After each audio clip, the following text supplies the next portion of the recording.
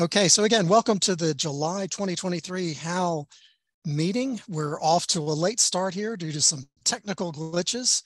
Uh, fortunately, our fearless president got in here and got us all squared away. So I'm going to jump right into this because we've already lost a little bit of time. Um, the first thing I wanted to ask, or do we have any new uh, folks on this evening that have uh, either recently joined HAL or just interested in hearing tonight's presentation? Would you like to come off mute and introduce yourself to the group?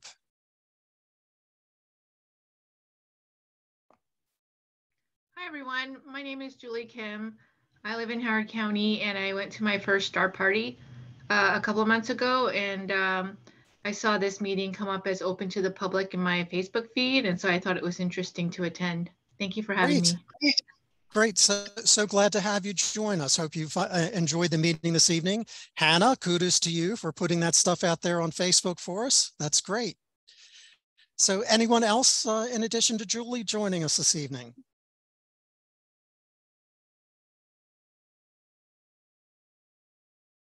All right, let's go ahead and move along in terms of announcements, we do have a public star party coming up this Saturday. It actually looks pretty decent weather-wise. I may not, hopefully I'm not jinxing it by saying that. Um, so hopefully all of you HAL members with scopes that you can make it out there because um, even when we've had partly cloudy skies, we've had pretty good turnout. So if it happens to be a nice clear evening, I would imagine we could really have a lot of folks. So I would encourage you guys, if you can make it out to Alpha Ridge um, this coming Saturday. I think, Crystal, you're one of the hosts for that evening. Yes, and it's my first time hosting, so come on. All right. I'm excited to see y'all. All right, so let's support Crystal in her first time hosting effort there. Um, one other thing that I did want to mention is that HAL does have a survey going on currently. Uh, let me see if I can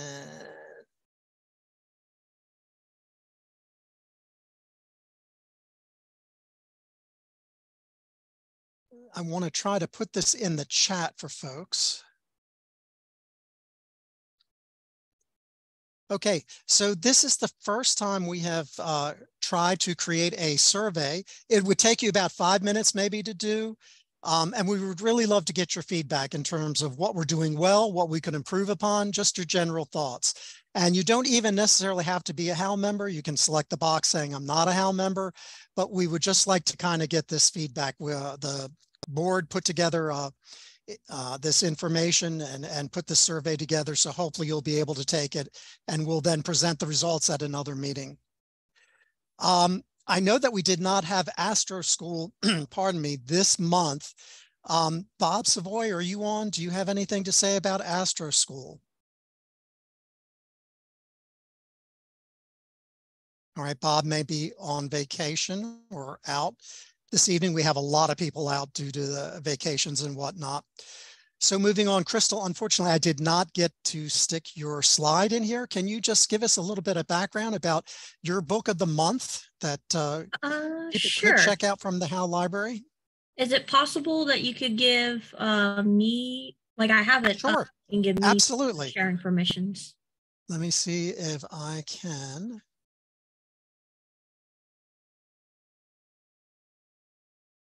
And I'm going to stop sharing and let you share. Awesome. All Hopefully right. you can. Two seconds here.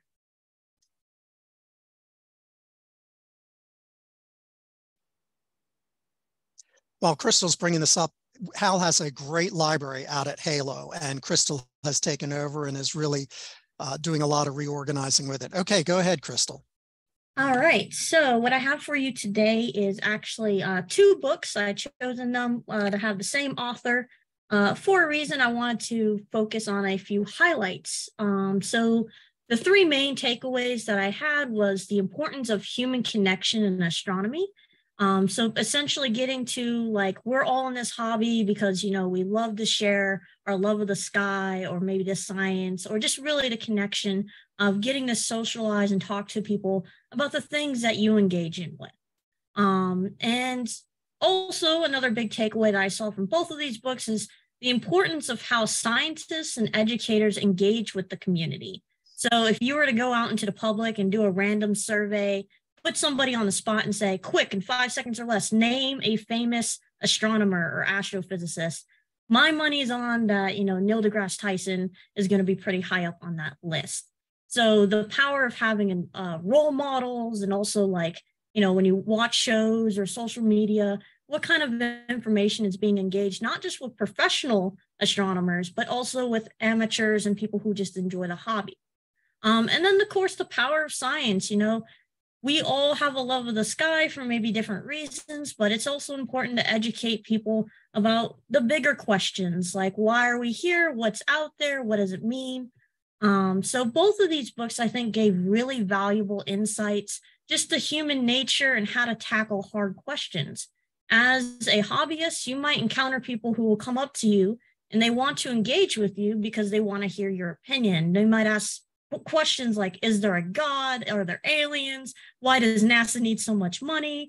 Like are you prepared to answer hard questions and to encourage a love of science and to encourage just a love of the hobby? So i think both of these books are great reads. They're very short obviously um, written for very broad audiences. Um, i did want to share really quickly a little part of our own history. So in our copy of the sky is not the limit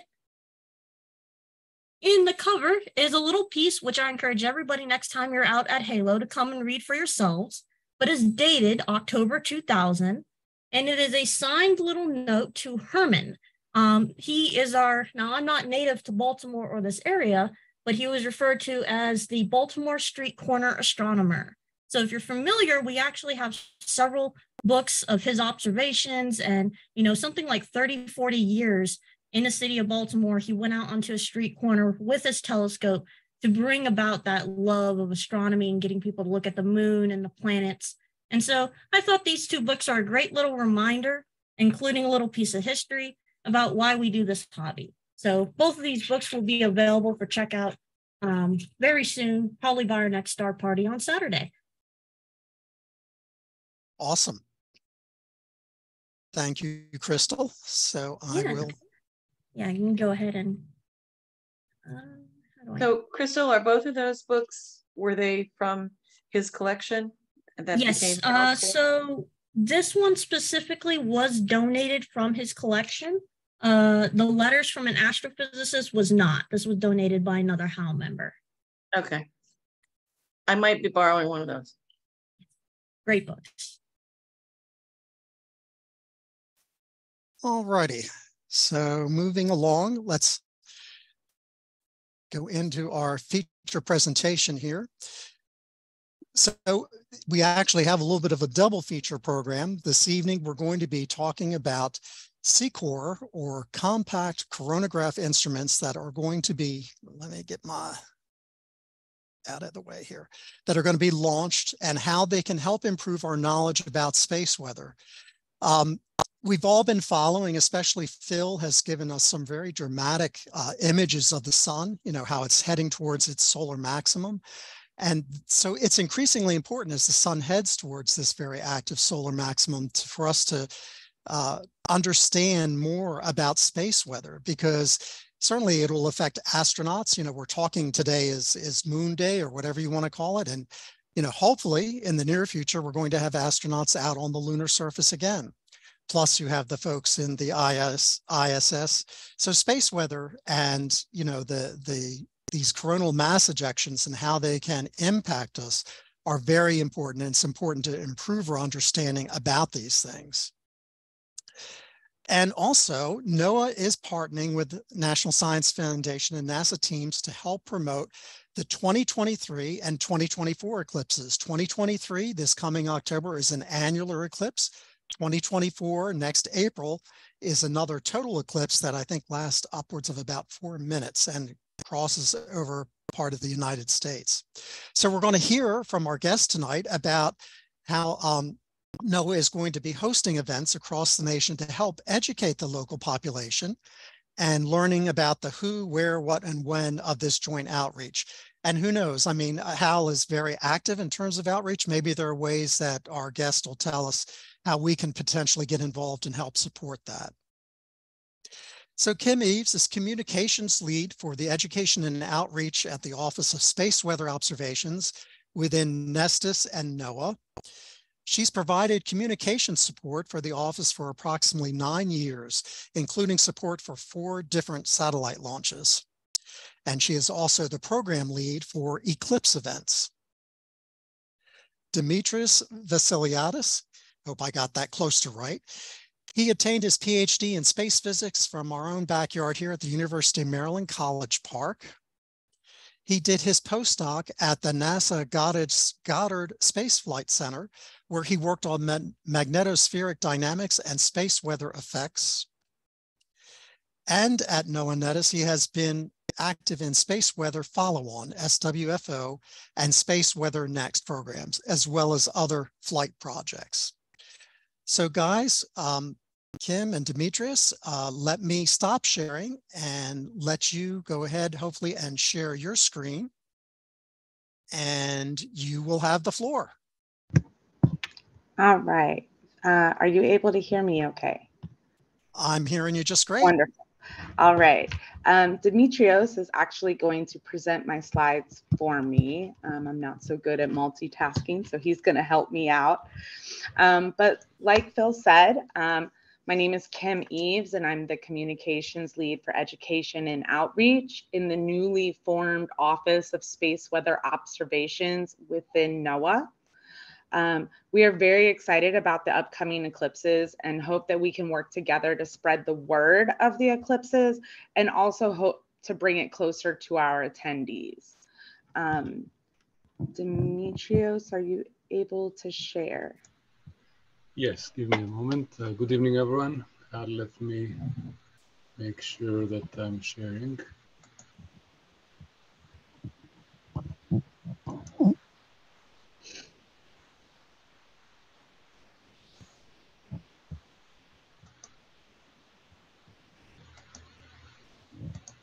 Okay, let's try that. And let me also start my video here.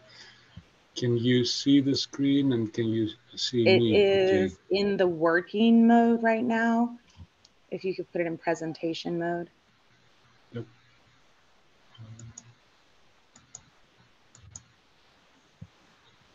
And if you could go to the next slide, please. All right. Oh man, it got messed up. Um, okay, so first, what is space weather and space weather observations? Um, if you don't know, space weather refers to the variable conditions on the sun and in the space environment due to solar activity. Um, these conditions can influence the performance and reliability of space-based and ground-based technological systems, as well as endanger life and health.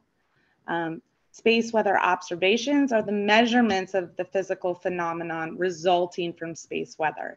So because of these things, we've realized the need to study the sun and the space weather um, to help protect us on Earth. Um, next slide, please. Um, so how can space weather affect us? Um, hold on. Um, extreme space weather has the potential to disrupt the global economy by damaging the transformers needed to operate the power grid. And one study from 2011 estimates that a large scale space weather induced electricity blackout, which would affect approximately 60%. 66% of the US population could result in a potential domestic economic loss in the US equal to 41.5 billion per day. And that was in 2011, um, along with additional 7 billion in daily losses to the global economy. And just recently, we held a conference with um, government leaders and industry, and it was actually said there um, by one of the guest speakers that a large solar storm today could be our first trillion dollar disaster. Um, if you could go to the next slide, please. So for instance, on July 2nd, a large X-class solar flare, the largest class of flares, spewed from the sun and came towards Earth. And this storm was actually strong enough to affect the radio communications on the West Coast and within the Pacific. And then just last week, there was a solar storm that brought the aurora borealis down to the midsection of the United States, allowing those who normally don't see an aurora the opportunity to view it. And I was reading today that there's another solar flare and solar storm that is bringing the aurora down um, as, as, low. Well, I saw it, it would hit Michigan um, and maybe a little bit lower, not all the way down to Maryland where we are, but it was definitely coming close. Um, next slide, please. So NOAA's new Office of Space Weather Observations studied the sun and the weather it creates using space weather satellites and instruments. During an annular eclipse in the path of annular, annularity, you are able to witness the outer ring of the sun, referred to as the ring of fire. However, during a total solar eclipse, you are actually able to see the corona or the outermost part of the atmosphere of the sun. Um, in order for us to study the corona and make forecasts, we use an instrument called the Compact Coronagraph or CCOR. The image produced by CCOR, which you see on the right, helps us measure the corona and get a better understanding of our sun. CCOR allows us to block out the sun and see the corona, just like you do during a total solar eclipse. That is why we like referring to the solar, the total solar eclipse as nature's coronagraph. Using a coronagraph allows us to study the sun every day versus an eclipse where you only have a few minutes on a single day. Um, next slide, please. So we are currently planning six different solar eclipse events across the US. That'd be four in New Mexico, one in Colorado. Actually, it's sorry, it is three in New Mexico, one in Colorado, one in DC, and one for Texas. For all of the events, we are partnering with NASA and the National Science Foundation. And for each individual event, we also have on site partners that we are working with. Um, these partners are helping us deal with the school systems, provide advertising, and also hosting booths at our events. Um, so on this slide, you'll see just the number of our uh, partners and collaborators that we're working with across the country. Um, next slide. For the October 14th, 2023 annular eclipse, we will be in Boulder, Colorado at the University of Colorado's campus in Boulder while they celebrate their family day. This is a, a day that brings in the freshmen and their families to help see the, the college and the campus and really become a part of the city for a day. So we're partnering with them to bring the eclipse and make it a part of that event for the entire uh, group of attendees. Um, and prior to the eclipse in, in Boulder, we hope to visit libraries and schools to talk more about our mission and the eclipses. And we do realize that Boulder is not in the path of annularity, but it is a place where space weather is a big focus because of our Space Weather Prediction Center, some of NSF's locations that they have out there, including the National Solar Observatory. And then right there on campus, we have the Fisk Planetarium. Um, then our main event though for 2023 will be in Albuquerque, New Mexico. And I am super excited because we are gonna be at the International Balloon Museum during the Albuquerque International Balloon Fiesta. Um, you could not have planned this any better. Um, and I am so lucky that we got with the Balloon Museum before anybody else um, so that we could partner with them. Um, the Balloon Fiesta typically brings in about a million people within the nine days that it's open. However, due to the eclipse this year, we expect that number to be a lot higher. And we're thinking even if we you know, if you take a, a million, you break it down into nine days, you're looking at about a hundred thousand per day. And even if we got 10% of that, that would still be 10,000 people that will be engaged. Um, and then we'll also be at the University of New Mexico and the New Mexico Museum of Natural History and Science hosting NOAA booths. Um, next slide, please. And then on April 8th of 24, uh, the one that we're most excited about um, as far as the total eclipse. Um, we will be at the National Mall partnering with the Smithsonian Air and Space Museum, where they will experience again 85 to 90% totality. For this event, there will be booths positioned all around the mall, and attendees will be able to go to each booth and do an activity related to the science of eclipses and space in general. And this is where we could really use your help so I'll, I'll provide a little bit more on that a little bit later. Um, but our biggest event of all of them is going to be April 8th of 2024 in Dallas, Texas, which is in the path of totality um, and will be in the path of totality for four minutes. Um, attendees and participants will have the opportunity to experience totality at the Cotton Bowl Stadium at Fair Park of Texas and they will be right next to Big Tex at the State Fair Park. Um, we expect our Dallas event to be our biggest event that we are planning, and we're hoping to host around 78,000 people and hope to have at least 20 booths of educational organizations and activities. If you could go to the next slide, please. Um, we would love to work with HAL so that we can bring the solar eclipses closer to our audience. At the National Mall in April of 24, we will have space for you to bring your solar viewing telescopes and share this with the public. Um, in addition, if you or anybody on your, your group is going to be traveling to any of the other locations where we are hosting events and are interested in helping us, please let us know. Um, we, we did this for another group, and it turns out we found a volunteer from Boulder that is actually going to come to Albuquerque because that just happens to be where she's going. Um, so if that's the case with anybody in your group, we'd be more than welcome to, to have you and work with you. Um, and for you, we have subject matter experts like Demetrios and other NOAA ambassadors like myself that are willing to do lectures, NED talks, similar to your TED talks, activities, and Q&A sessions.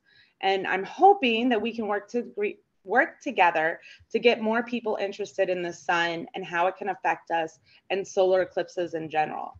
Um, and if you go to the next slide, um, you're able to see my contact information and my partner, Eric Walters, his information.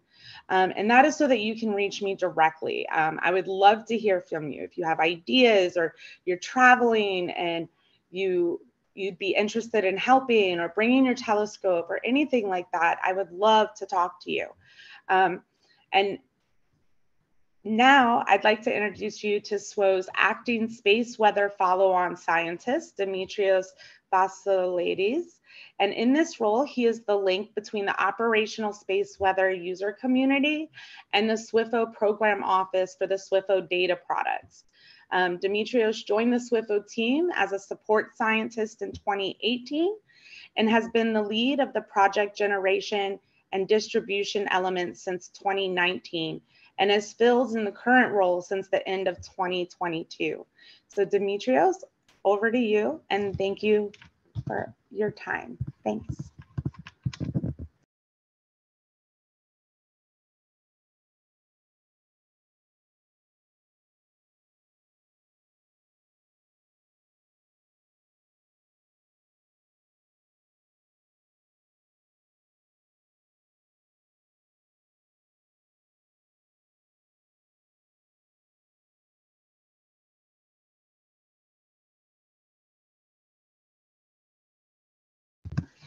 Sorry for the delay. If you give us just um, a minute. There you are. Hi, Kim. okay, yeah, sorry for um, changing through all these screens. Um, it's okay. I was going to say, we're still me, seeing my last slide.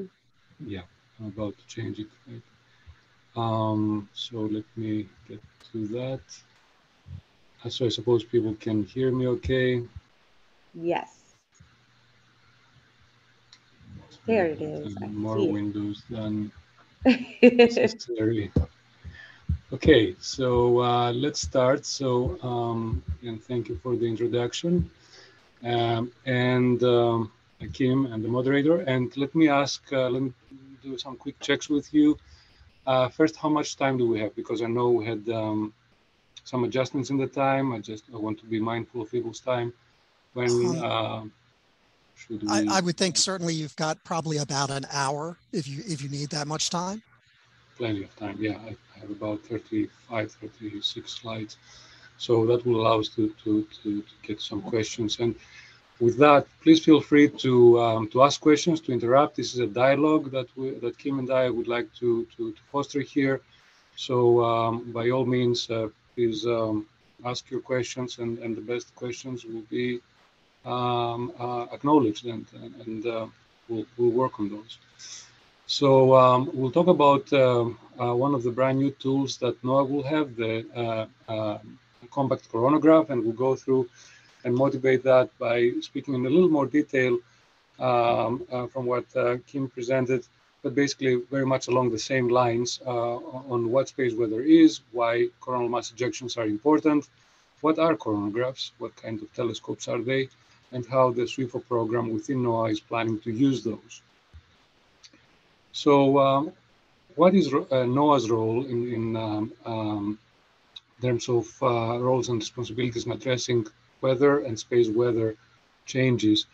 Uh, and space weather is um, is really understood as part of, of 21st uh, century weather. Uh, our technologies are ever more vulnerable to uh, to disturbances that come from far away, far above the neutral atmosphere that we all are familiar with and they come from outer space.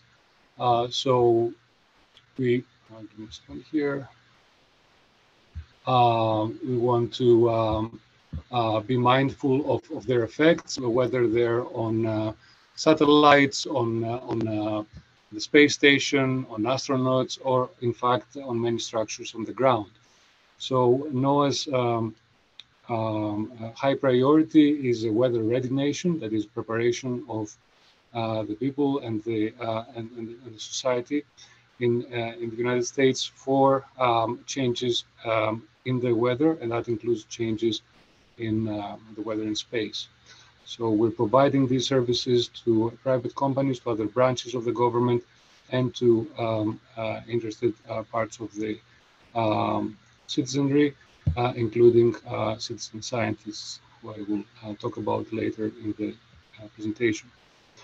So space weather then is the sum total of um, all these changes that, that happen in the space environment and can impact technologies such as the ones we saw, not only in space, but also on the ground. But its source lies at the sun. For, for most of the space weather effects, the, or uh, we know that they originate um, at the surface or in the atmosphere of the sun, uh, and there are some that originate further away, namely um, cosmic rays that, that come from faraway sources in the galaxy. So here's a, a view of um, a very active um, uh, event, uh, starting with um, an active region, as it's called, um, in uh, on the surface of the sun. You see here, uh, and this uh, the active region is uh, the te technical term for for what we call sunspots in in in language. seen from further away than the surface, we see the uh, a composite image from several uh, telescopes, uh, a coronagraph, and, and also um, photospheric imagers um, that show this disturbance um, following a series of solar flares um, in the lower corona and then expanding to become what we call a coronal mass ejection. It is an explosion that takes away layers of uh, the chromosphere and the corona, layers of the, of the uh, solar surface, and ejects them out into the solar system in any given direction. And we're most concerned if uh, these ejecta, these mass ejections, and other debris um, are uh, heading towards Earth or towards um, planets in which uh, we have deployed uh, spacecraft uh, and other technical units. So with that, um, we see how these events can, can impact the um, the, the, the, space beyond the sun. And this is a schematic that, um, that shows how the solar wind emanating from the Earth can, um, emanating from the sun, can reach the Earth and um, it's, it stops short of uh, impacting the Earth, because there's an obstacle that protects our planet. And that, pla that uh, planetary obstacle is called the magnetosphere. It is, as you saw uh, in part of this animation, a, um, um, a magnetic obstacle which originates at the interior of the planet. It's the compression of the planet's magnetic field, which can deflect these particles um, uh, outward and away from uh, the atmosphere and the biosphere where we uh, where we live. Um, further closer towards the planet, we have another layer called the ionosphere that uh, we may be familiar with either from the aurora borealis that you see on the right, um, or from other effects such as air glow that you see on the left, um, as, uh, in this series of pictures uh, taken by the uh, International, International Space Station astronauts. And below the atmosphere, we have a regular atmosphere with uh, lightning flashes. Um, um, in, in the background there, these blue flashes, and also, of course, the familiar city lights. So this is a continuum, right? Uh, we humans tend to break it up into nice little uh, neat regions, but nature um, ignores a lot of these classifications and allows these uh, various regions of space and the atmosphere strongly interact and influence each other. So the effects that take place far away above our heads at the solar in the solar realm uh, can impact the interplanetary space and eventually the atmospheric and atmospheric uh, regions. Um, up to this point, any questions or are things familiar? Because I'm, I'm going to switch gears on you and I'm going to talk uh, slightly more technically and um, perhaps uh, provide you with some challenges. Okay, hearing nothing. Yep. So uh, let's move so on. Great. Okay, very good. So let's talk a little bit about coronal mass ejections. Um, and these are the um, heavy hitters, if you like, of uh, solar weather. These are uh, relatively heavy structures compared to the thin solar wind, the wispy solar wind that we saw earlier impact the Earth. Uh, they carry uh, uh, millions of, um, uh, of millions of, of, of kilograms of tons of plasma, and they travel much faster than the regular solar wind, up to four or even sometimes five times faster, above 2,000 kilometers per second. Um, and uh, they uh, are accompanied by precursor structures that is we can see on the sun when they're likely to break out and we can feed this information into models and, and, and obtain predictions about uh, how soon and, uh, they may erupt and how strong they may be. Uh, at the same time, uh, these, these eruptions are not just giant blobs of plasma, as this uh, very nice uh, so-called light bulb picture shows. They're accompanied by invisible effects, um, the solar energetic particles, which are much more energetic than, much more energy um, field than the low energy plasma. They can travel much faster and reach Earth uh, in much smaller um, um, amounts of time. And they can penetrate the interiors of spacecraft or even the space station, producing um, damages in on silicon and also on biological tissue. Um, the, the structure of the coronal mass ejections is um, an open uh, research item. It has been studied for a long time, but due to the complexity of these structures, as we will see in the next several slides, we still have open questions and we still have um, um, uh, images such as those from, from uh, uh, photospheric and coronal uh, observations that can allow us to, to study them further. So how do coronal mass ejections form? Uh, here's a set of um, uh, several models um, that uh, attempt to explain some of these um, uh, complexities. They involve um, uh, destabilizations of, of, the, uh, of the plasma.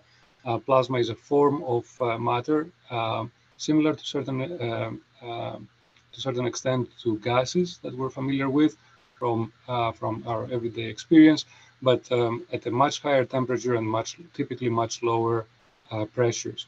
So we go in the classical sequence of uh, states of matter. We go, as you know, from solid to liquid and then liquid to uh, gaseous matter. And then when we heat uh, uh ga gas, then it becomes uh, a plasma. It, it, um, it is dissociated into positive and, and negative charges and their interaction gives rise to the collective effects that, that characterize plasma. So on the surface of the sun, then we have these magnetic structures that, uh, in this case, they're schematically shown by these lines.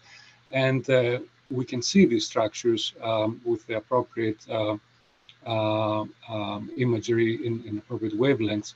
We can see particles traveling up and down these structures from the surface of the sun over these arcs and landing on the other surface. And as they do so, they illuminate the arcs if they're sufficiently numerous, if they're sufficiently many. And uh, therefore, we can actually see these magnetic lines. At some point, uh, instabilities take place.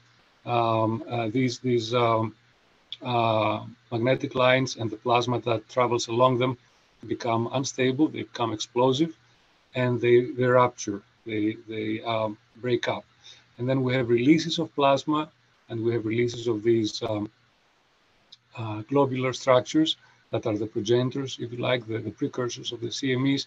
And when they are uh, sufficiently far away from the solar surface, they become what we call the uh, mass ejections, the coronal mass ejections that will travel rapidly away from the surface of the sun. Uh, so there are several uh, theories to explain um, these events, and um, several events are fitted better by uh, some theories, other events by different ones. Um, and there is a whole uh, body of literature explaining um, uh, the precursors to these structures. In addition to uh, the formation, we have uh, models as to how a well-developed asymmetric uh, CME looks like, uh, and we have many observations from um, solar observatories um, to, to support these, these models. And there are several of those as well. This is a collection based on a presentation take, gave uh, at a university setting recently. So um, uh, providing a, a, um, a, a, sample of the complexity of, of, solar uh, research.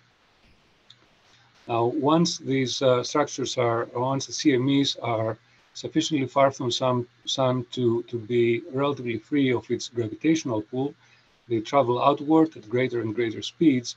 And also because the pressure is lower at these higher altitudes above the sun, they expand, much like a balloon expands as it's released um, away from the Earth, if it can be um, uh, released, for example, filled with helium to, to travel upwards. It will continue to increase uh, in size and, and, and lower its density. And that's what we see also with CMEs. Similar to balloons, they start traveling initially uh, at an accelerated uh, rate. Uh, so they travel faster in these sort of parabolic curves and then they reach um, a steady state. Their their speed uh, reaches a, um, a, a, a, standard uh, um, magnitude, what we call a terminal velocity, pretty much like raindrops, which accelerate initially when they fall out of the cloud, but then as they collide continuously with the air around them, they, they move at a steady pace. And at some point, these structures will strike the Earth, the Moon, or other um, targets, you might say, as they travel outward in the solar system. And depending on, on, on the system, whether it's a magnetized planet, an unmagnetized planet, or moon, typically moons are unmagnetized, um, they can uh, confer various uh, effects to that to that neighborhood of, of the solar system. Um, how do we find out? Um, how do we measure these coronal mass ejections? These are um, structures much, much larger than the Earth, as you saw um, from, from the schematic so far. So you can picture our planet to be engulfed in one of those once, once one of these structures passes by. And so we can have um, uh, measurements either of the magnetic field um, that these structures carry as they uh, whoosh past the planet, or the plasma, if we have such uh, sensors, such as uh, uh, uh, plasma instruments that I'll, I'll, show in the next few slides. And we can trace um, the effect of the structures as they, as they go past such a sensor. So in this se sequence of images, we will see um, what takes place before the CME hits. Uh, this is um, from a set of measurements uh, taken by another NOAA spacecraft called DSCOVR, um, which is uh, located further upstream of the Earth, closer to the Sun. And this is the, the measurement that these measurements show the magnetic field of the CME, shown here as the blue line, the total magnetic field, and one component, as it's called, um, of, of the magnetic field um, uh, that's important for the interactions with the Earth. Uh, without getting into too many details, uh, the magnetic field as a quantity is a vector. Um, uh, that means it has several different components or several different directions in, along which it can be manifested. So a magnetic field can point up or down, left or right, or forward and backward. And so these are three sets of directions, if you like, um, that we can use to describe a magnetic field. In this case, the blue line represents the total magnetic field. That's the combination of all these directions, up, down, left, right, forward, backward. And the red line represents the upward, downward, as you might say. The upward is um, the direction along the magnetic uh, dipole of the Earth, which is important as a measurement of uh, reference um, for magnetic interactions. And the negative part of the red uh, trace is uh, the, the, component which is anti-parallel opposite to the, to the field of the Earth.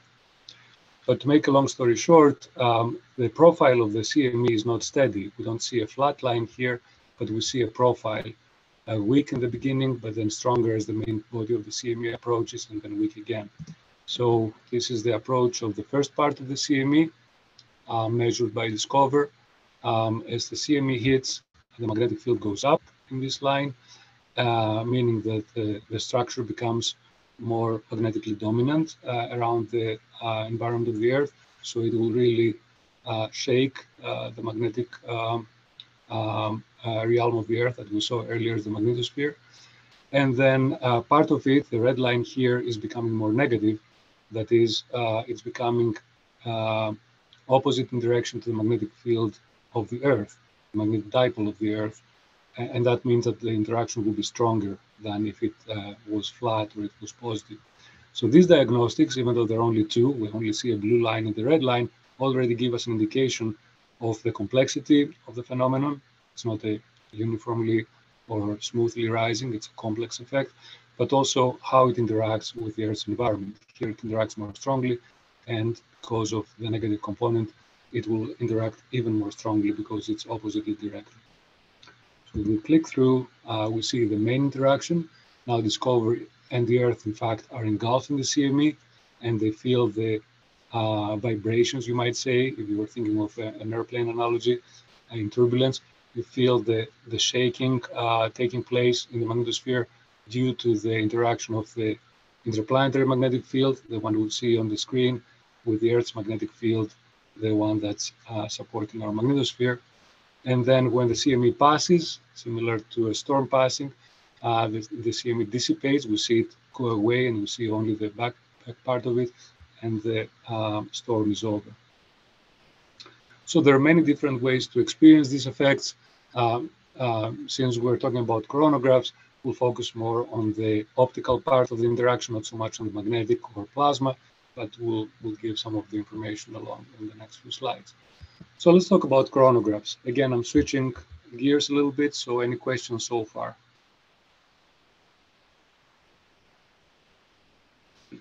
Can I ask a question that goes back a few Please. slides? Um, yeah. Specifically, there is a picture where you're looking at the uh, coronal mass ejection where it's blocked off a bit. Um, I'm interested in how how do you know what part or what features are being tracked as a time lapse goes on. So like obviously the shape of the ejection changes. So when you spot one, what are are they looking for the outer edge or certain features that specifically you're creating those velocity vectors or something to collect data for? Right, so let's go back to one of these images. Uh, let's see if we can find a good one. For example, this one, would you like to talk about this one? Sure right? So uh, this one actually is both a good and bad example. It's, it's good because it shows really the, the, the, the, the CME in all its glory. It sees that it shows the various layers, the front, the, the dark um, um, region behind it, and then the uh, very bright uh, prominence material. But the, the good news here is that it's traveling away from the Earth, right? We're, we're sitting sort of behind the image and it's traveling safely away from us. Now, not for a so-called halo or Earth-directed CME, which would travel uh, towards us, we would see that as a, either a, a, a, very nice circle uh, or a distorted circle if it's traveling to the side, uh, or it has some uh, asymmetry.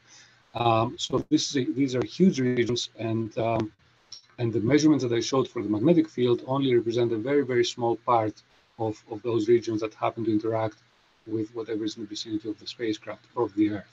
For those regions, the spacecraft and the Earth are, are minuscule, right? And we just sample a very, very small part of that complexity.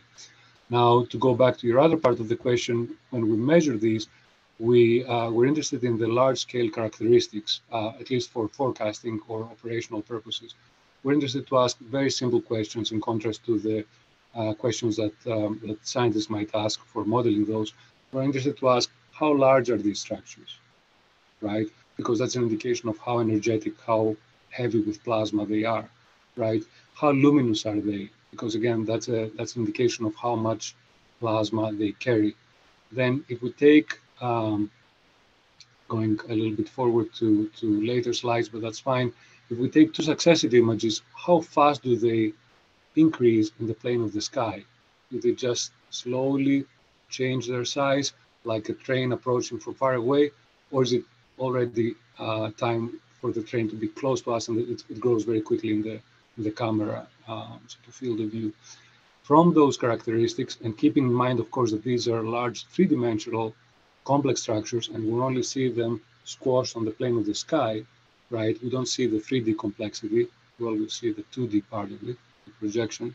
We want to infer how uh, dangerous and, and, and damaging their effects may be when they actually pass around the Earth.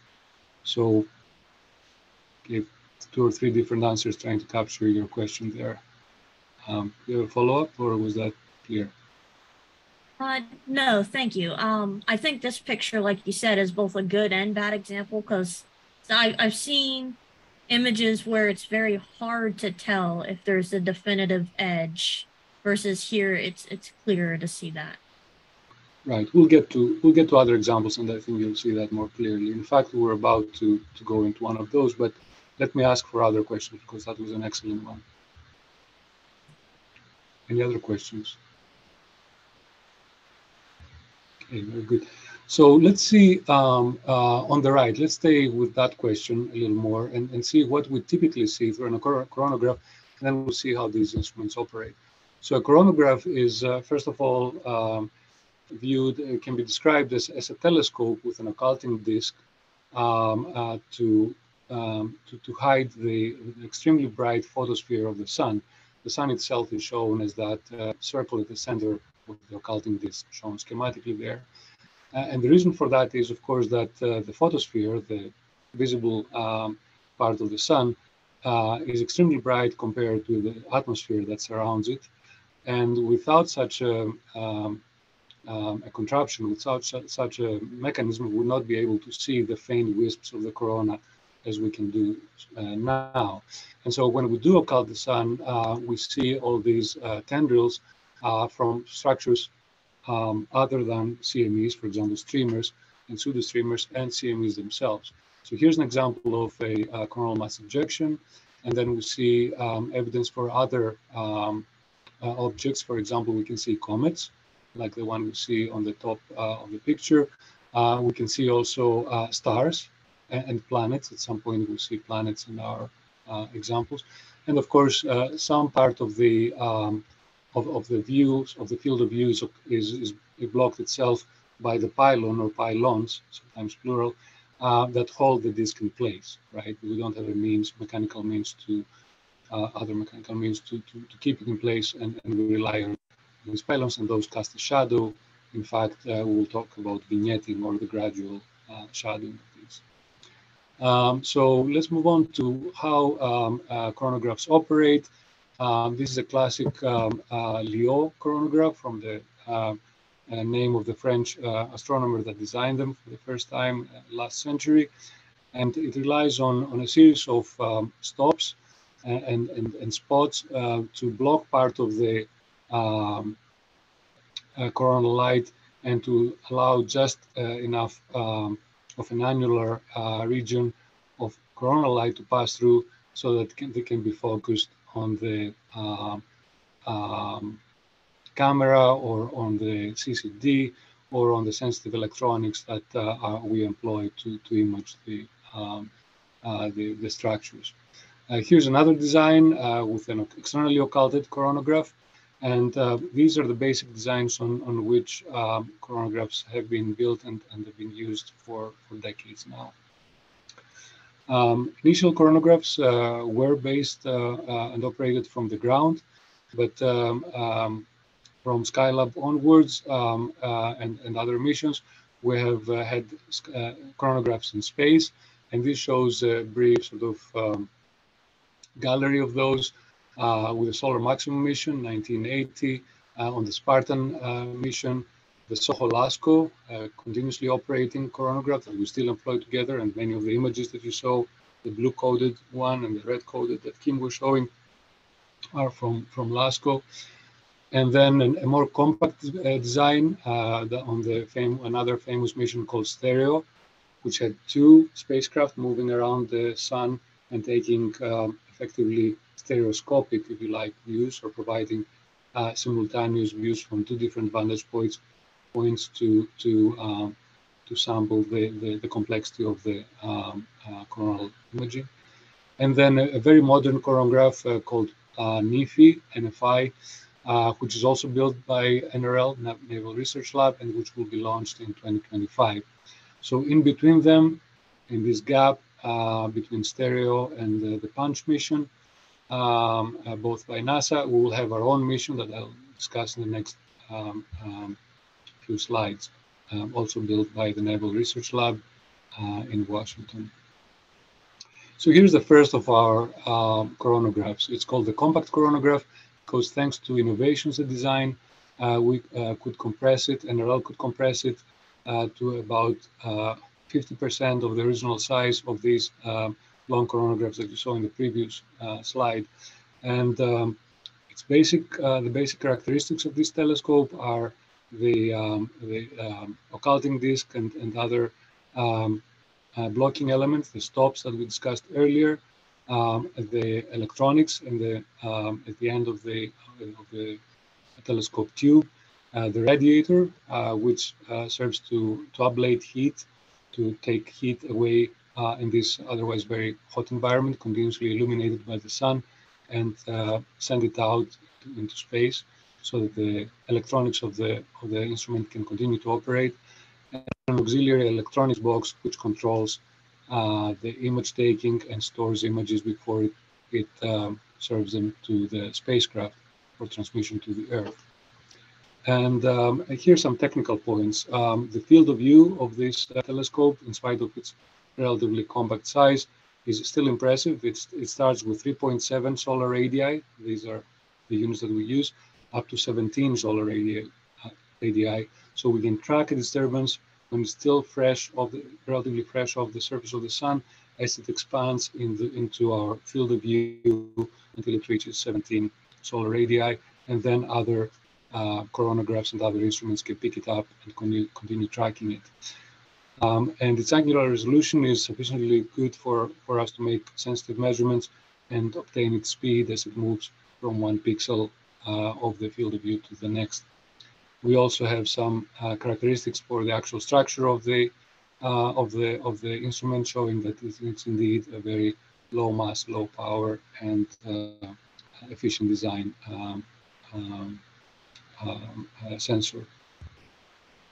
So this uh, first of the two coronagraphs we'll discuss will be carried on a, on a familiar NOAA um, satellite called the GOES-U.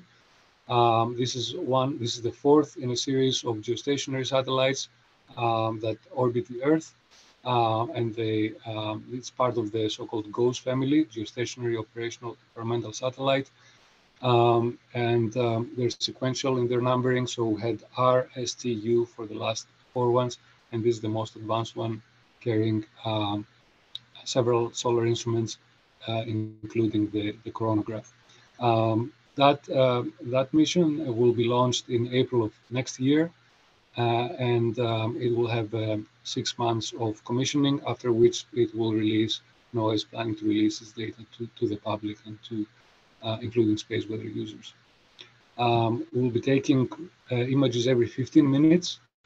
Uh, that might seem slow um, to, to uh, at first sight, but in fact, it's sufficiently um, fast to uh, resolve these structures as they're moving slowly in the field of view. Structures, of course, are moving extremely fast in hundreds of kilometers per second, but uh, the sun is still so far away that they seem to be moving uh, slowly, and the 15-minute cadence uh, is sufficient to capture them. When, of course, they whoosh past, past the Earth, uh, we feel really how uh, how quickly they come through in, in, in several tens of hours, as we saw with the magnetic field example here. And one of the um, capabilities that that still that never ceases to amaze me is the latency requirement. That means that the whole operation of taking images uh, far away um, from far away uh, locations in space. Uh, this is still relatively close, but we'll see another example with with another coronagraph in a moment. Um, taking the images, processing them on board the spacecraft, beaming the, the, data down to Earth, and then processing them additionally at the um, at NOAA in NOAA labs uh, is is uh, taking much less than 30 minutes for processing and, and providing them to the hands of our forecasters and to other users. Um, in fact, the, the um, uh, latest uh, plans for future uh, for future capabilities uh, are going to reduce that latency requirement to about 15 minutes, so an even more impressive, uh, impressively small amount of time for processing and, and gathering the data. Now, because uh, CCOR 1 uh, will be on geostationary orbit, it will be regularly eclipsed. In other words, it will be uh, going uh, behind the Earth and will be traveling through the shadow of the Earth. Uh, and, and in those image, in those times, uh, for those um, intervals, it will not be able to take um, imagery of the sun, obviously. Uh, those um, intervals last for uh, a maximum of about 70 minutes each, but they only occur during equinoxes. And this takes place because the planes of, uh, of the, uh, the motion of the Earth around the Sun and the plane of the motion of the satellite around the Earth are not exactly aligned, but they're at an angle of about 23 degrees. Thanks to that um, uh, fortuitous um, um, fact, uh, those uh, eclipse effects take place close to the two equinoxes, spring and fall, and they don't last in the entire year. Still, that's a reduction capability, so we know that we have to launch a second coronagraph to, to provide a complete uh, imagery of the sun. And that's, uh, uh, here's the second instrument, an, an, almost identical twin of the first one, the Compact Coronagraph 2. Um, this instrument will operate at a very different location, uh, namely at um, the so-called Lagrange one point, um, uh, which is approximately 1.5 million kilometers or 1 million miles upstream of the Earth. So that will be always in front of the Earth, never experiencing uh, eclipses and providing a continuous set of imagery um, of, of the solar corona. Uh, because of difference requirements, is not an exact twin, uh, but has a larger field of view. So instead of 17 uh, solar radii, uh, we'll be able to track CMEs and other structures out to 22 um, um, uh, radii. but um, compensate for that, we'll have uh, a slightly more blurry uh, image. We'll have a lower resolution of, of 70 instead of 50 arc seconds. Still um, uh, quite highly resolved for forecasting purposes. And because of its orbit, uh, 2 will not be subject to, um, to either eclipses or another effect which um, uh, 1 will face, namely Earthshine, the reflection of uh, the Earth's um, light when it's at the uh, at the same um, local time as the Earth. So the, the, the light from the Earth will impinge on its field of view. So CCOR 2 will not have that um, um, uh, limitation. So uh, what uh, process do we have in place um, to calibrate and uh, ensure high quality for our instruments? There are several steps um, related to that, and uh, one of the first ones is the calibration um, among uh, the two between the two coronagraphs and among other uh, space-based uh, instruments and even ground-based instruments. And so there are well-defined techniques for that. We're not going to go into um, details, but uh, there is a special working group uh, within NOAA um, led by, by um, the National Centers for Environmental Information um, and they will provide um, uh, calibration uh, procedures. They have designed calibration procedures based on um, NRL and NOAA heritage. Um, and an example of that is shown um, on the right uh, with LASCO C3. Um, these are adjustments that need to be made in, uh, as a function of the distance away from the sun. so this is the uh, distance of uh, 10 solar radii. So you can picture the sun being further to the left, all the way out to 30. And we see that um, the CME has a, a, a, profile in this particular view, uh, which needs to be corrected um, compared to the unperturbed sky background. Um, other uh, NOAA heritage uh, uh calibration procedures include um, UV um, measurements from a very different set of instruments, which are still solar optical instruments. Um, and uh, those techniques have been brought to bear to ensure high quality of um, coronagraph images. Um, a different step that has to be um, implemented is um, uh, uh, part of pre-processing, and that's called that's called cosmic ray scrubbing. Now, by cosmic rays, we uh, mean two different, two very different uh, groups of particles. Cosmic rays can be solar in nature, so coming from the sun, even though cosmic indicates a, um, an origin which is further afield, or they can be true, true galactic particles. So cosmic is a sort of catch-all for both of these categories. In this case, cosmic rays uh, are meant to be solar energetic particles. And you see, as you see in this uh, coronagraph image, uh, when, when the sun spews out um, a large um, plasma um, ejection, um, it can also at the same time accelerate particles, uh, which are much more energetic. They travel less, tiny little bullets, and they can pierce sensitive electronics, including uh, uh, impacting uh, electronics of the of the uh, um, focal plane array that that's uh, in in the coronagraphs. And you see how they mar temporarily, thankfully, the the image of the LASCO C3 they go through, they produce their damage, and then they're passed um, uh, much earlier before the, the CME has actually reached the vicinity of the instrument, and then uh, the instrument continues to operate normally. But during that time, uh, when the image has been degraded somewhat because of, of these streaks, uh, we have to take um, some measures to uh, restore the image as, as, well as possible.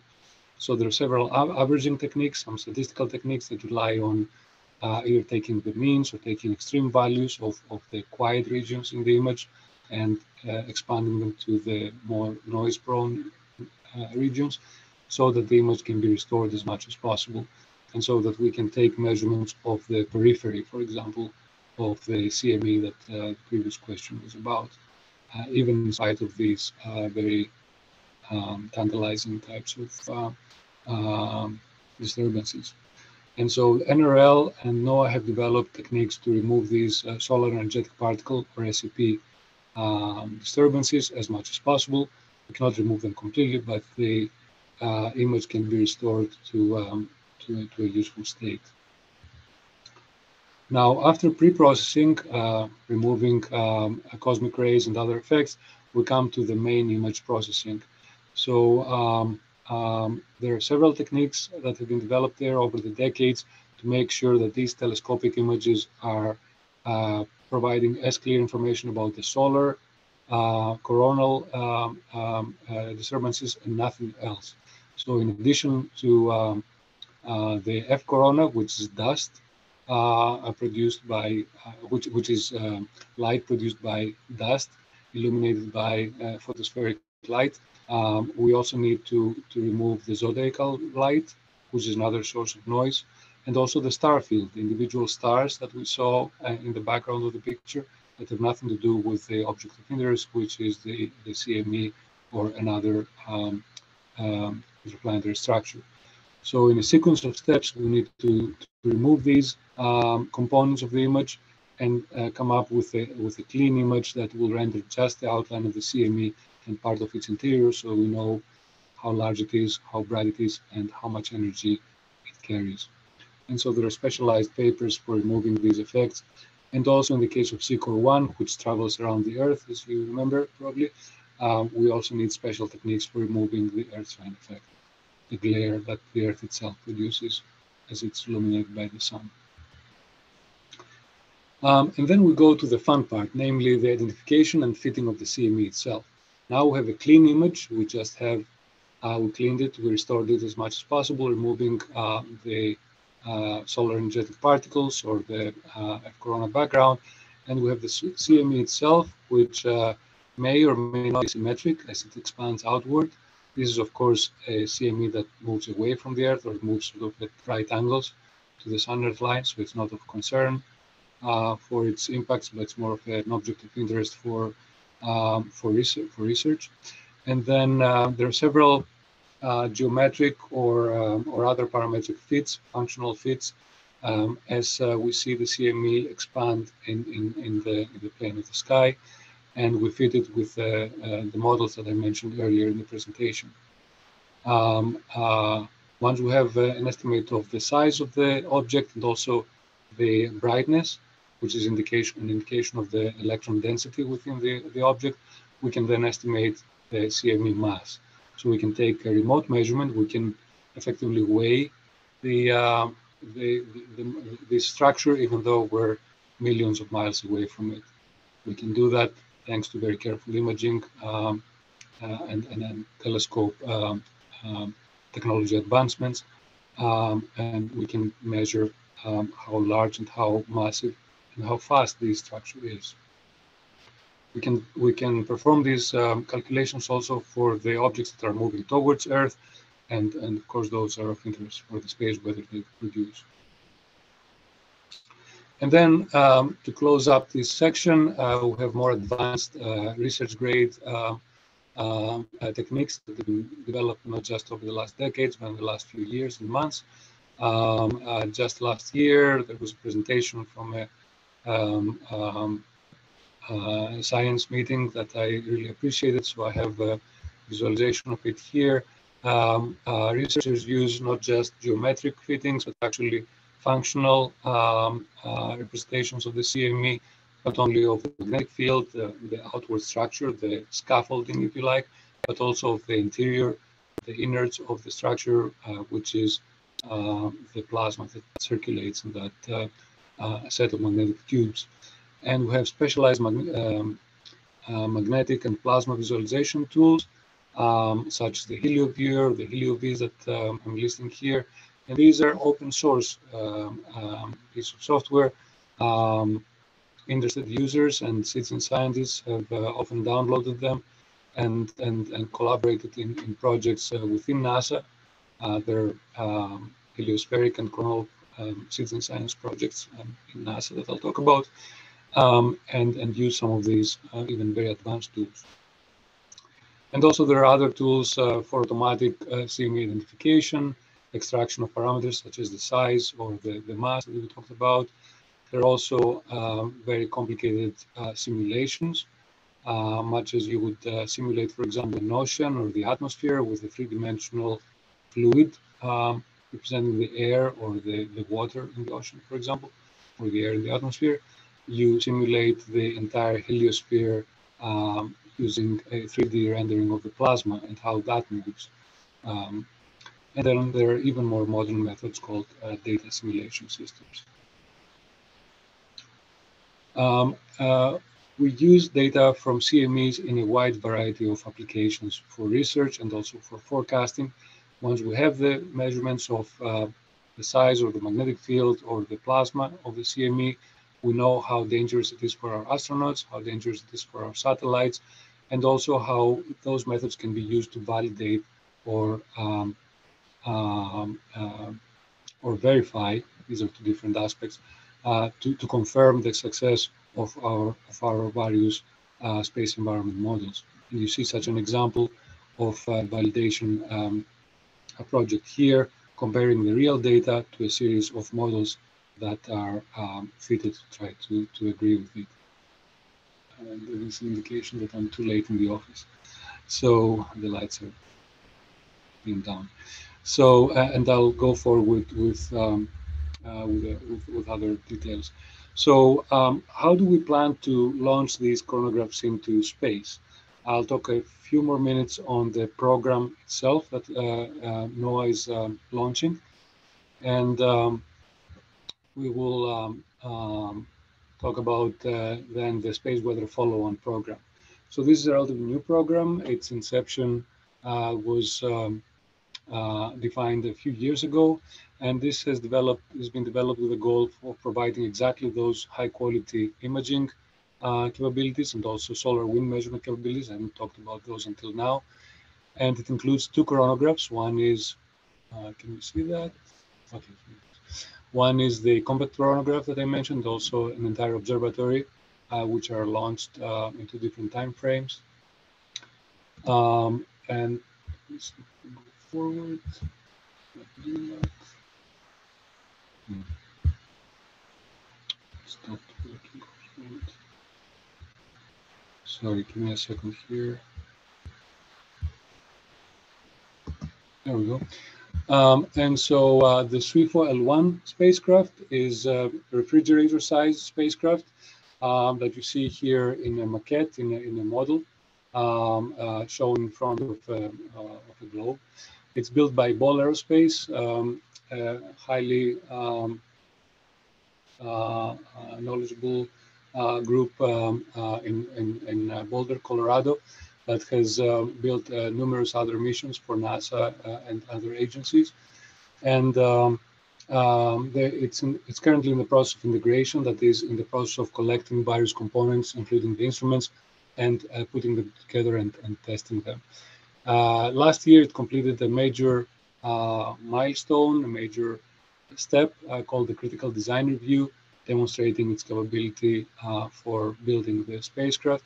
And since that time, um, it's in the production and, and integration test stage. Um, uh, this is a snapshot of how the mission will operate, and I find that always exciting um, um because it gives, a, in a nutshell, how the operation will uh, take place in this particular concept. It's called the CONOPS or Concept of Operations. Um, in contrast to the GOES-U spacecraft that we saw circling the Earth at some distance, uh, this is uh, our SWFO L1 spacecraft, which will circle around this um, invisible point, the Sun-Earth Lagrange 1 point, where the gravitational pull of the Sun is balanced uh, by the gravitational pull of the Earth.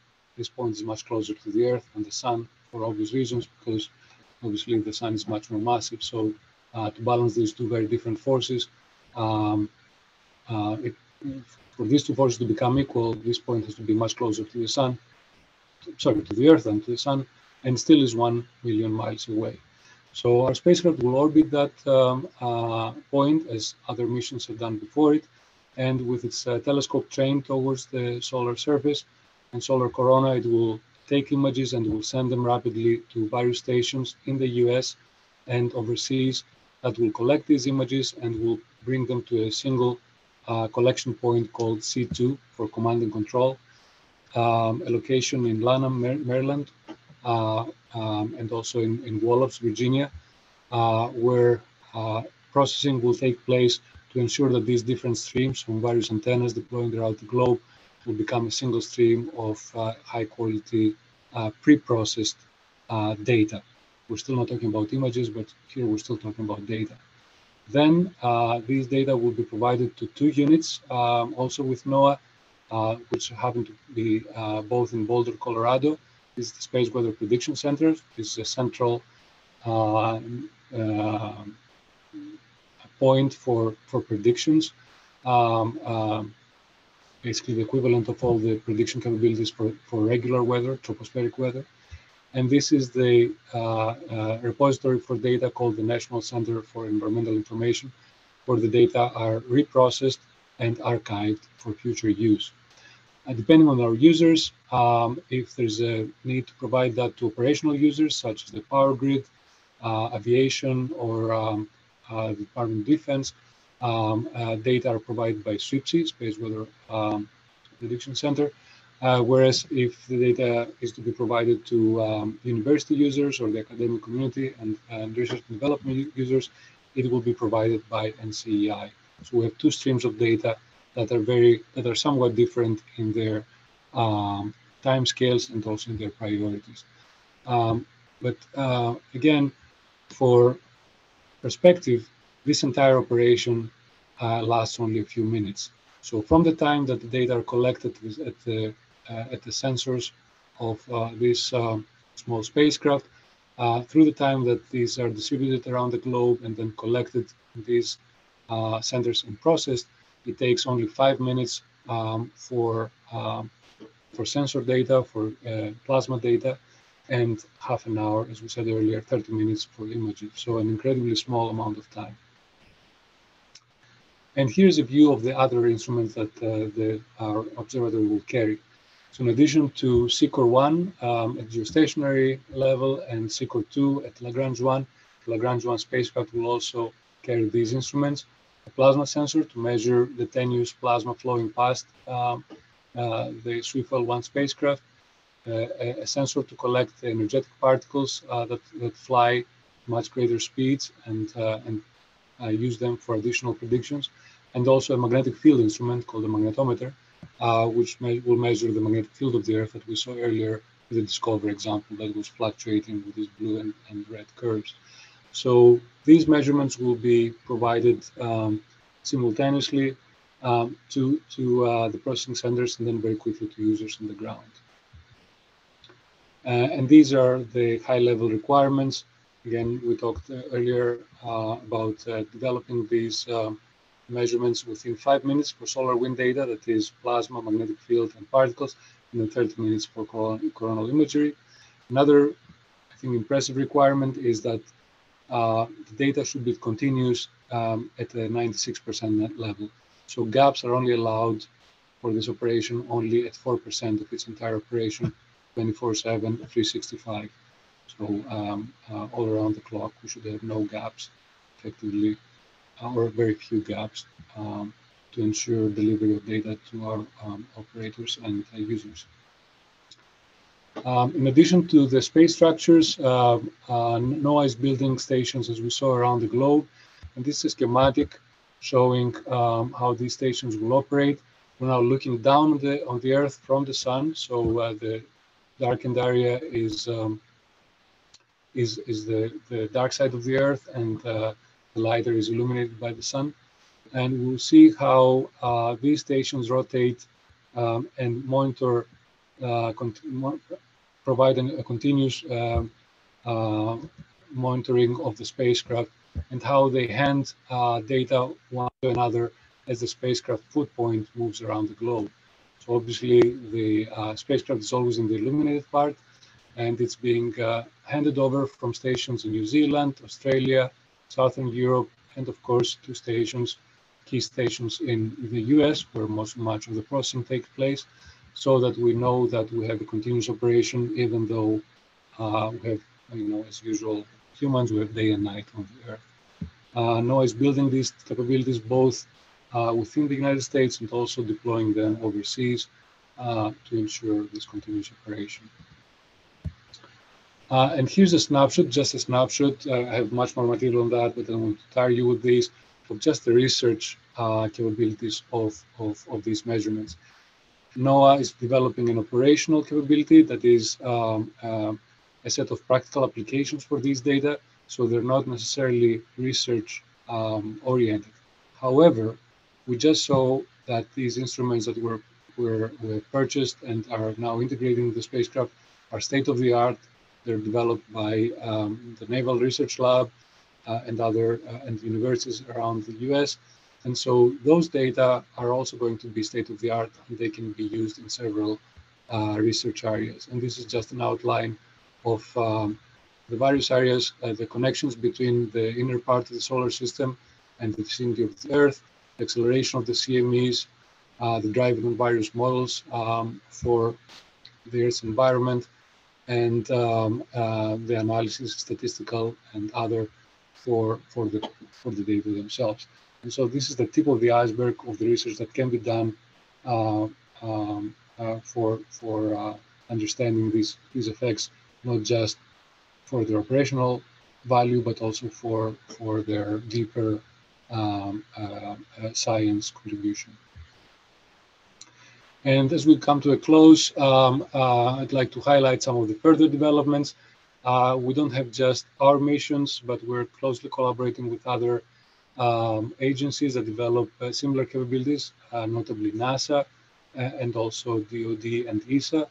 And we have new technologies that come to the fore. For example, uh, polarimetric measurements, also done with coronagraphs, that um, open new windows in our understanding of, of these structures. So by polarizing the images, something that we did not really see in much detail up to now, but this is a set of new techniques that are being developed in the community. We can actually peer deep inside the interior of the of the um, CME or of even of other structures, such as shocks or rotating uh, interaction regions, and we can see uh, their interior. We can see their skeleton, as it were, uh, similar to employing X-rays to see past the skin of a, of a patient. Can actually see the magnetic and plasma structure as they're intertwined in the interior of the CME. And this is all happening, of course, as we're approaching for we're approaching solar maximum. Here are two views of the quiet sun during solar minimum and the very active angry sun during solar maximum, a few years apart. And the next solar maximum is predicted for the year 2025. And NOAA and NASA, as you just heard from Kim, are uh, developing uh, many different activities, including the solar eclipses that are taking place uh, coincidentally at the same time. And so for the active sun that will take place in solar maximum, we know that it will create havoc in terms of space weather. It has already started creating that this year. And so things will be much more vulnerable, we think, when 2025 rolls around. So we want to be ready for that. This is a, um, a graphic showing uh, just the coronal capabilities that are deploying by various um, agencies um, as we approach the solar maximum. This is the solar cycle 25 and the predicted solar maximum is here. This is an ensemble of several theories that don't necessarily agree with each other, so therefore the shading here. But you can see that nature does not really um, agree with human with human uh, plans, right? So uh, these are the actual measurements up to July of this year. And we see that the solar cycle is ramping up much faster than any one of these models were, was predicting. We're already at this level of activity, which is exceeding what was predicted for the maximum. It seems that our next solar uh, cycle or this current solar cycle will peak earlier and at a much higher amplitude of sunspot number in this case than was originally predicted by solar experts. So again, nature sort of um, uh, has a, an interesting way to prove us wrong sometimes. Um, and these are, in terms of coronagraphs, these are some of the capabilities that are deployed. These are the two coronagraphs that I, or missions that carry coronagraphs that I just mentioned. But in addition, the Indian Space Research Organization is launching a coronagraph uh, as we hear next month. Uh, was in the years of making, and now this has culminated into that um, uh, final step. Uh, another NASA research mission is being launched two months after our mission. This is a very highly capable, very interesting mission, but will only last two years instead of our 10. And then uh, ESA is launching its own coron coronagraph, uh, which will be at a very different location um, in um, in space uh, at the so-called so-called Lagrange 5 um, um um, point, and we will um, experience a different set of solar wind conditions as seen from there. Um, what's what's in the future? What's in the cards? Uh, well, NOAA is expanding its capabilities in close collaboration with NASA and uh, with other agencies. So in the future, we're envisioning not just a capability from uh, Lagrange point one that we saw, or just from geosynchronous, as shown schematically in this blue uh, oval, but also measurements from Lagrange point five with ESA that I just mentioned, and also other orbits. So where as space weather uh, impacts are felt more and more um, significantly in different technologies, we plan to um, to deploy additional resources to make sure we are one step ahead of of, of these uh, of these impacts and we're able to at least now cast or even forecast uh, when when they occur. And how can you get involved? Uh, Kim already mentioned several steps, but I would also complement them here by pointers to citizen science um, um, links. Um, uh, NASA has developed a beautiful set of uh, citizen science um, um, projects, uh, and some of them do include um, coronagraph imaging. And there are others that are about solar jets or active regions. We heard that active regions are really technical term for sunspots. And this activity will reach a peak also uh, in what NASA has declared to be the heliophysics big year, uh, which harks back to the geophysics big year of 1958. Um, and so um, as, um, as we're approaching next year with the solar eclipse that Kim talked about and the solar maximum uh, imminent, being imminent, uh, we'll have a, a, whole set of new initiatives and I would uh, encourage you to, to, to uh, listen for those and, and, be ready for those. So uh, in summary then, um, we have um, um an expansion of NOAA's responsibilities from the weather ready nation to the space weather ready nation as uh, space weather manifests itself in an increasing number of technologies uh, being impacted by these effects, both from the sun and also from the atmospheric and magnetospheric realms. We want to be ready uh, for them. We want to be ready to to uh, forecast and, and then also to understand them, to, to help the science community develop uh, new tools for understanding and modeling them. And so we're working very closely with other agencies, with NASA and NSF, of course, and with the science community and, um, and industry to develop these capabilities that I sort of sampled here uh, by means of the coronagraph. I'd like to thank you very much for your attention and invite additional questions. Thanks. Demetrios, thank you very much. That was a, a great presentation. Um, certainly an exciting time, I guess, to be uh, involved with the work that you're doing with this uh, upcoming Solar Max. So to, to the audience, does anyone have any follow-up questions that they would like to ask our guests?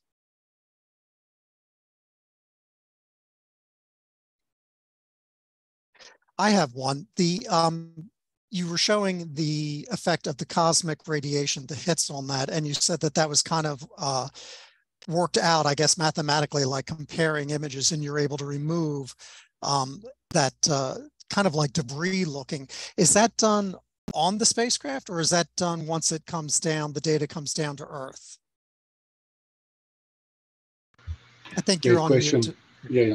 Great yeah, question. right there, so, exactly. Yeah, right. So um, so in, uh, impressively, I think that that takes place on the spacecraft. So the spacecraft can sense uh, uh, when they can measure the quality of the images, and it collects images not just every 15 minutes. It sends an image. It sends the final image every 15 minutes, but actually collects images 100 times faster, and to, so it stores these images. And then, depending on, on the severity of of uh, of these SEP and other effects, it can calculate how many images would be the optimal number to average over or to take the maximum or the minimum over. Gotcha. It employs various statistical techniques and it can use that number to select the images from its memory uh, and, and average them, for example, or process them more generally, and then send the final image to the um, to the spacecraft and then on to the stations that on, on, on the service. Yeah just just amazing something as noisy as that and then the final product that you show us uh, it's real it's just amazing that it can clear that up right anyone else have anything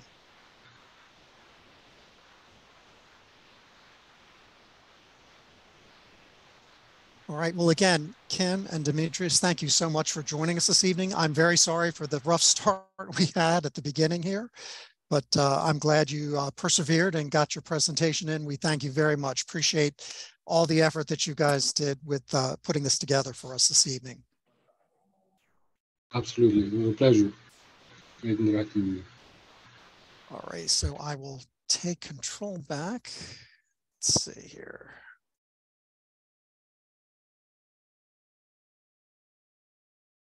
All right, folks. So continuing on, we have our What's Out in the Sky this month. Um, Phil is on vacation, so we will not have uh, his solar report. And that then leaves me. I'm up next talking about the shallow sky. So Mercury, it continues to be a marginal evening uh, apparition for the next couple of weeks. You might be able to catch it with some binoculars, especially uh, as Venus, which is sinking towards the sun, is uh, passing by it. Um, Venus is really dropping like a stone now into that twilight, and it's going to reach inferior conjunction on August the 13th. And thereafter, it's going to gradually shoot up into the morning sky. So you can look at it there if you're an early morning riser. Uh, it's kind of neat in the mornings if you happen to be one of those people going to work at like five in the morning to just kind of watch Venus ascending higher and higher over the uh, fall months. Mars, really tiny, slipping into the evening twilight. It's pretty much done for this apparition. Hey, Jim, Jim? not to interrupt you, but we, we can't see your screen if you're sharing a screen. Oh, I thought I was sharing. It says stop Uh, share. There's actually two different screen views right now. So you, you go under view options and you can um, switch to Jim's shared screen instead of Dimitri's. View options. At least the users can. I'm not sure what you see, Jim, but and we see view options, shared screens, and we have you and Dimitri. I stopped sharing, so I don't know if that helps. Oh, okay. Well, let me give this a try again then. All right, is that better, guys? Yeah, that's better. All right, thank you. Um, thanks, Chris, Crystal, for letting me know that. So we have Jupiter, which is rising roughly around midnight. So it's making it uh, very high in the pre-dawn sky. If you're an early riser, it's still pretty much a morning object until our next meeting. And Saturn is heading towards a late August opposition. Uh, so it's becoming like a late evening object. So if you're out around 11 or 12 o'clock, you'll probably begin to be able to, to catch Saturn. Um, for those of you who don't want to be dragging your scope out at three in the morning. Pluto, anybody? Pluto is coming to opposition this month, um, actually tomorrow evening. It is at magnitude 14.4, but keep in mind that we are pa past perihelion. So each subsequent year, it's going to get fainter and fainter until, I guess, in about another, I think, roughly 7,500 years, it'll be magnitude 16 at its brightest. So if you have a large scope and you can get to a dark sky site, you can see poor little Pluto, which is no longer a, a official planet and just a minor planet. So now let's talk a little bit about Venus, which is going to go to inferior conjunction, which is basically it passes between the Earth and the Sun on August the 13th. So the first thing I'm going to say here up front, very loud and clear, never ever sweep the sky with binoculars, finder scope, or telescope in the vicinity of the sun. You definitely need to take precautions if you're going to attempt to watch Venus at its inferior conjunction here.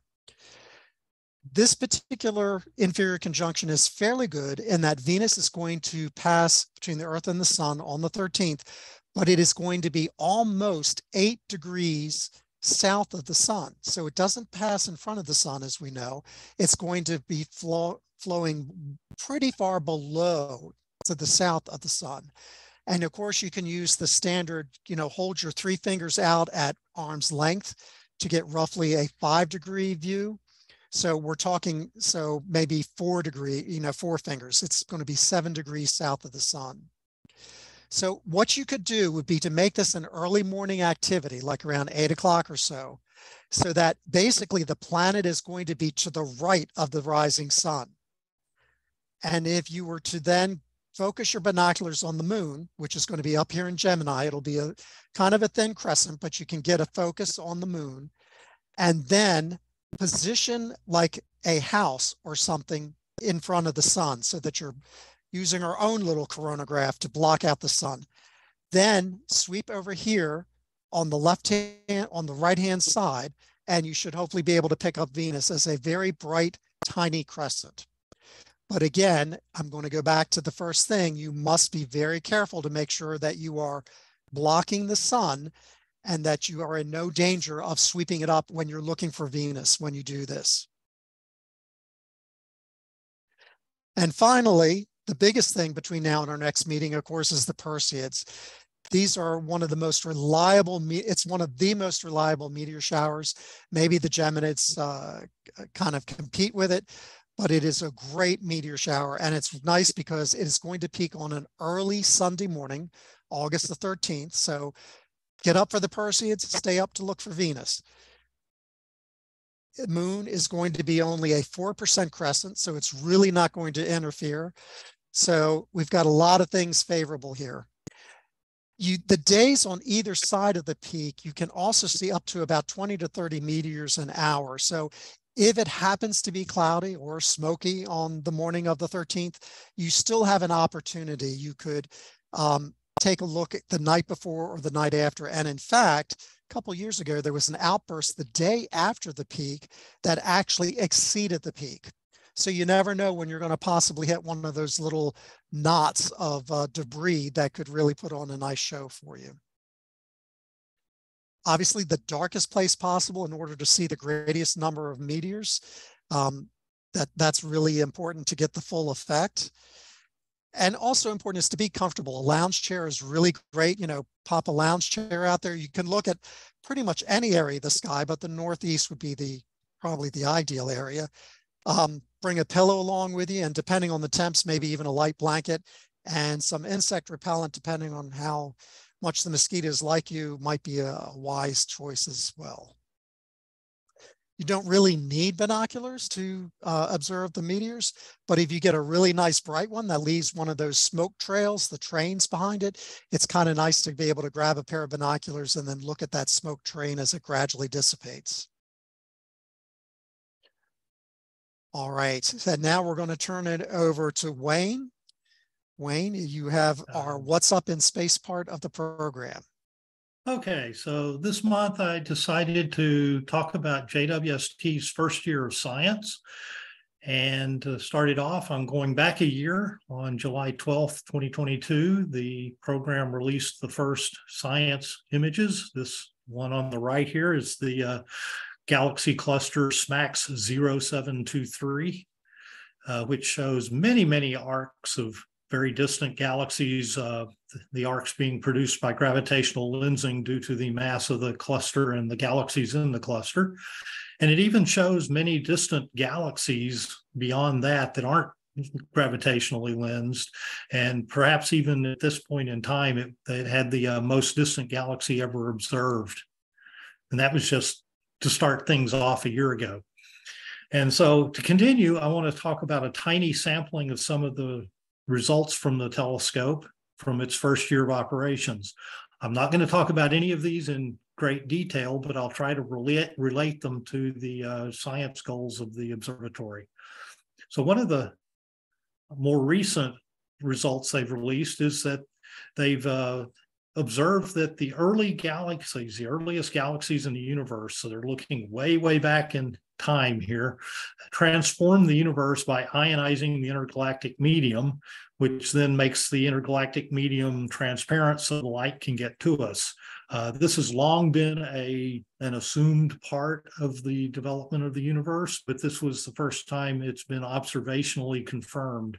So this confirms a major piece of the uh, Big Bang theory, and that relates to the uh, science goal of the observing the end of the dark ages, the first light and reionization.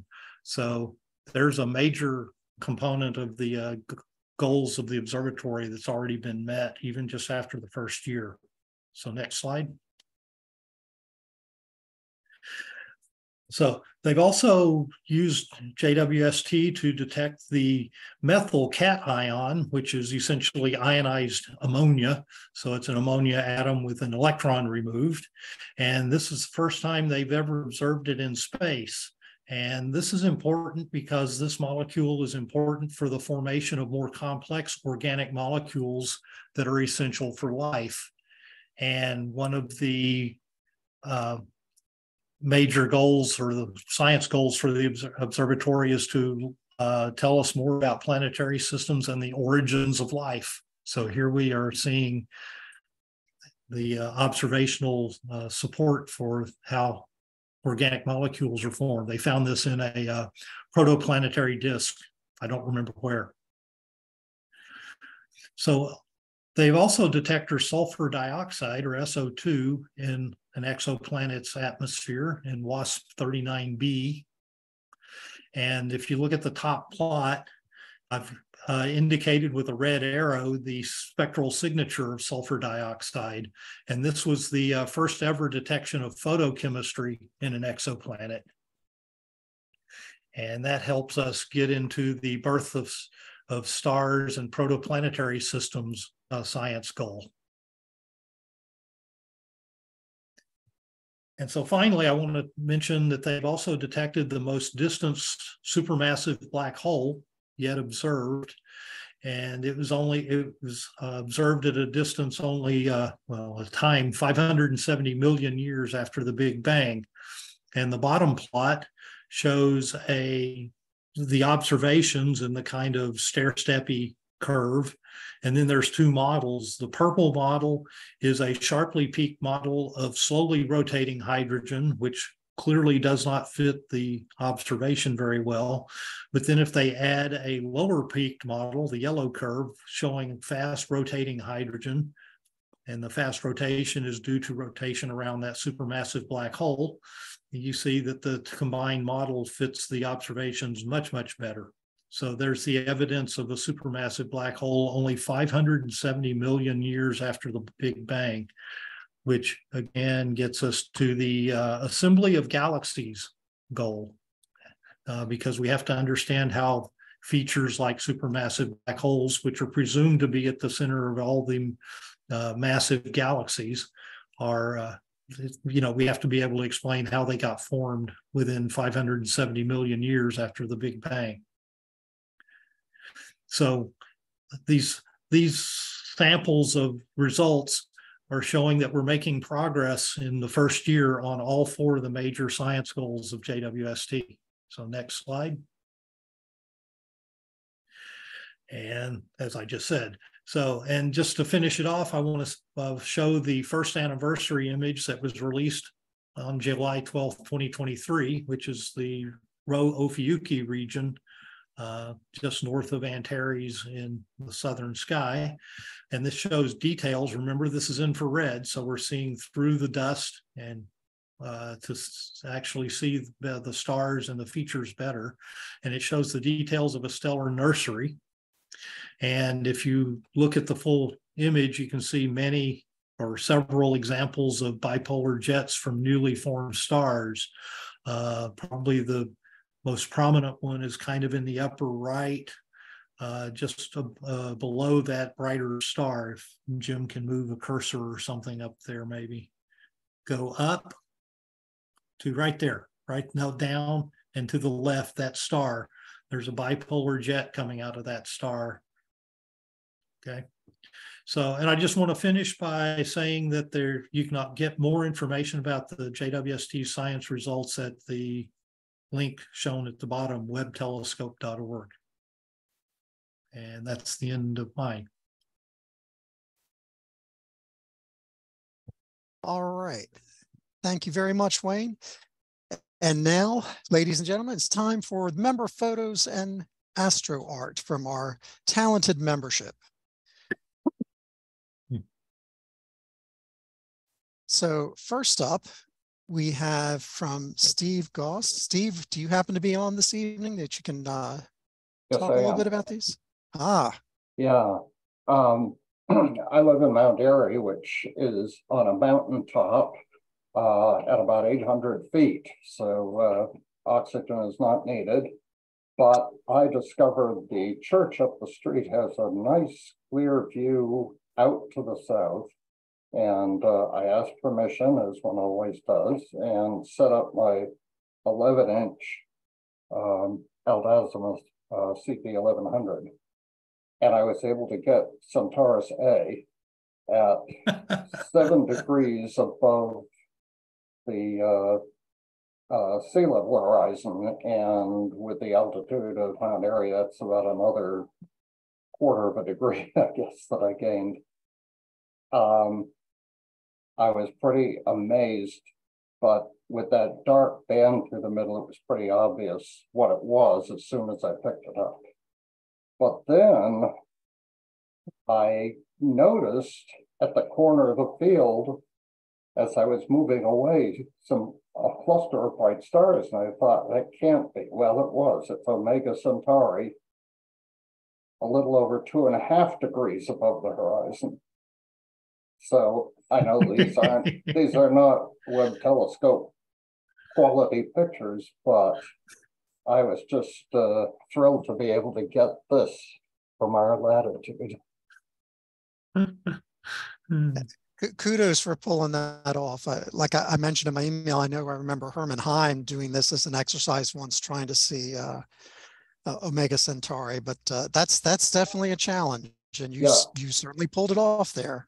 Well, this was last year. Unfortunately, of course, as we all know, June, late May and June were pretty disastrous around here, so yeah. I didn't even make a try at it this year.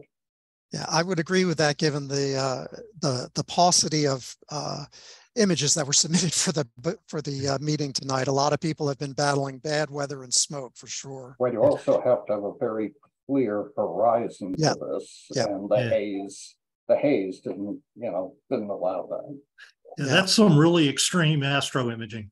Yeah, it is. Right. It is. Right. Congratulations. Right. It's for fun. All righty, and Wayne, you're back up with this beautiful image of uh, M56. Yeah, I uh, was I was out on uh, the impromptu the other night and spent an hour taking these these pictures. Uh. Just gorgeous. I love the color in it.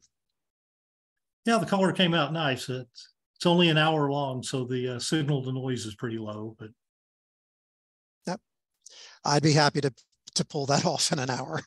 Definitely. Already, and I was on a trip to Italy recently, and we were going to look at the Colosseum, and I happened to look up, and it's like beautiful little gibbous moon sitting there between the arch, and I had to sit there and think, wow, that same moon, a couple centuries, a couple millennia ago, you know, with the gladiators in the arena and whatnot, it just kind of struck me as uh, you know the uh, the timeless nature of our moon as even though our uh, earthly uh, efforts here gradually decay. So that's kind of a not a scientific one but an artistic one here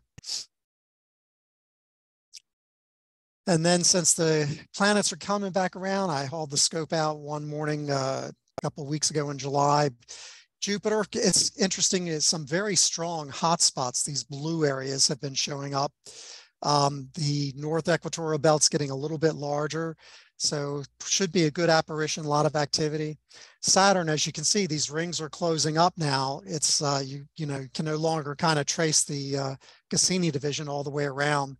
Um, what is interesting, and you don't have it in this image, and I think James uh, Willingham has gotten a couple, is the moons are now going to start to transit and you might have an opportunity to pick up one of the larger moons like Rhea or Tethys, or certainly when Titan starts to transit. Um, you know, it's kind of one of the features as we start to head towards Saturnian uh, equinox that we'll start to see the moons cutting across the planet. Yeah, nice capture of the shadow on the rings too. Thank you. And this is from Ken, Messier 106 and NGC 2428. I assume that's that guy down there. Um, Ken, you happen to be on by any chance? I am. Can you hear me? I can. Great. Want to tell yeah, us a little bit about this beauty? Um, it's just the overlooked Messier object, I think. It's about 8.4 magnitude. Um, I think it was pretty. I really just kind of discovered it a few months ago, and I imaged it over the last three months through the smoke, and this is what I got. Yeah, beautiful. Is this what in Ursa Major? Like, uh, it's not exactly Ursa Major. I think it's Canis Venatici, but really close to Ursa Major. Gotcha. Yeah, so many great objects in that area. But nice, nice job. Great capture. Thank you. And David said he wasn't going to be able to be with us here this evening, but he said the last time he was at the, um, I think this was the last public star party, he managed to use the HAL Observatory to grab this shot. I think, uh, I can't quite see up here. I think it's M13. No, it's not M13. M3, I think this is. M M3. M3. Okay. Well, one of the beautiful globulars of spring. Um, definitely globular season. So if you come out uh, Saturday night and we have clear weather, you can expect to see probably M13 and uh, maybe M4, some of the really gorgeous uh, globular clusters that we have in our summer sky. So again, kind of a nice testimony uh, in terms of what we can get with the HAL Observatory. And we'll finish off with a couple submissions by James Willingham, who is our uh, planetary uh, photographer par excellence. Uh, this is his image of Saturn. And notice he actually got some size here on Titan, and he has another one on Flickr that actually has these annotated. If you're interested, go uh, look at the Google groups, the HAL Google group, and he has the uh, link there. But again, really remarkable detail, beautiful stratification um, in Saturn's atmosphere there. And it's kind of neat, the uh, as the uh, southern portion is beginning to get more sun exposure and warm up, still has that kind of like bluish tint to it. Uh, wonderfully recorded in his uh, picture here. And then uh, finish off here with one of his pictures of Jupiter. Again, kind of some of these uh, hot spots. And, um, you know, as uh, the planet pulls away and gets higher in the sky, this should be a very good apparition because it's going to be, I believe, in in Pisces or Aries this uh, this apparition. So it should get pretty high in the sky. Should be able to get some really nice views, both uh, if you're imaging and also uh, in the telescope. And folks, that is it for this evening. Um, does anyone have anything else they would like to bring up or talk about before we call it quits? I'll pitch that um, uh, my school's observatory is also having an open night uh, tomorrow night, Friday. Uh, we're planning to be sunset to 11 p.m. So if you're looking to do two star parties in a row, um, my gold observatory will be open tomorrow. Sounds good. So anyone else have anything they'd like to bring up? All right, if not, I want to thank everybody for joining us. And again, our uh, guest, Demetrius and Kim, for uh, giving a wonderful presentation this evening. Thank you all for joining, and we'll look forward to seeing you again next month. Well done, Jim. Thank you. Thank you for having us. Uh, Kim, are you planning to stay on for a moment? I, I can stay on, yeah. Yeah, um, I just wanted to say that I sent an email. I'll actually be in the Dallas Fort Worth area for the total solar eclipse.